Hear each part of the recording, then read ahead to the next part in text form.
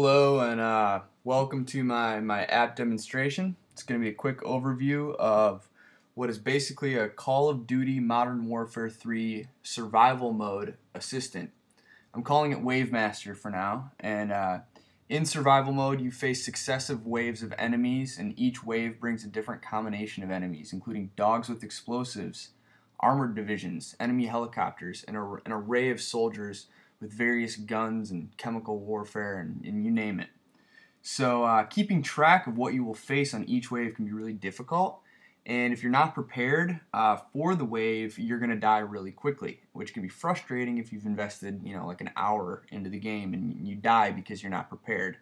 Uh, for example, if, you, if you're going to face helicopters on the next wave, it's a good idea to go buy a Predator missile so you can take out the helicopters. So it's kind of like knowledge is power type of thing. Um, it seems kind of trivial, but a lot of people are really, uh, you know, spending a lot of time playing this game. There's all kinds of uh, blogs and sites popping up, uh, like this, for example, which goes through, uh, you know, wave by wave for the different tiers and tells you what you can expect to face.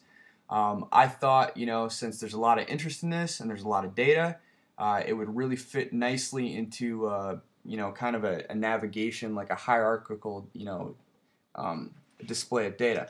So uh, my app is pretty basic right now. Uh, it's not totally working, but I will show you what I have. Um, I, I, incorporated elements of the nav app from the APRESS book and some of the you know parse tutorials.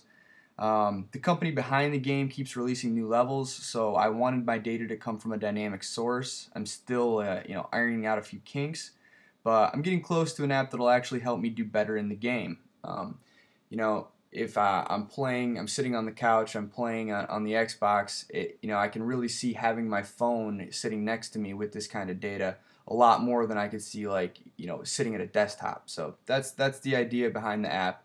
Um, now here's a quick tour of the app. Um, I'll go ahead and run it. And what you'll see here is uh, pretty standard. I haven't done too much stylizing, but um, two sample uh, maps you might face, pretty common ones, Overwatch and Sanctuary. Uh, Sanctuary is kind of my new favorite right now. I was really into Overwatch for a while.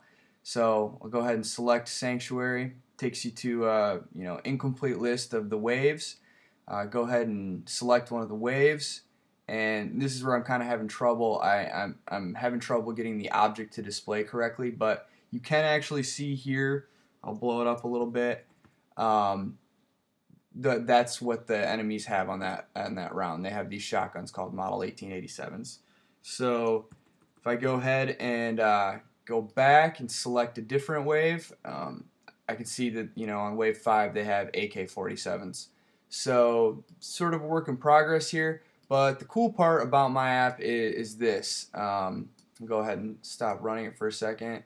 Um, I can go onto the parse data browser and I can add a new row that would uh, represent a wave. Let's just say there are going to be tigers. Not that there are tigers in the game, but let's just say you're going to face tigers on wave 7. Let me click into here and uh, add this real quick. And just like that, Parse goes ahead and uh, updates the object. Come back into my app, run it again,